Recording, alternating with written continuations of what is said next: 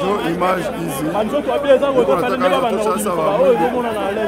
wote walikufa, hakuna mtu alitoka.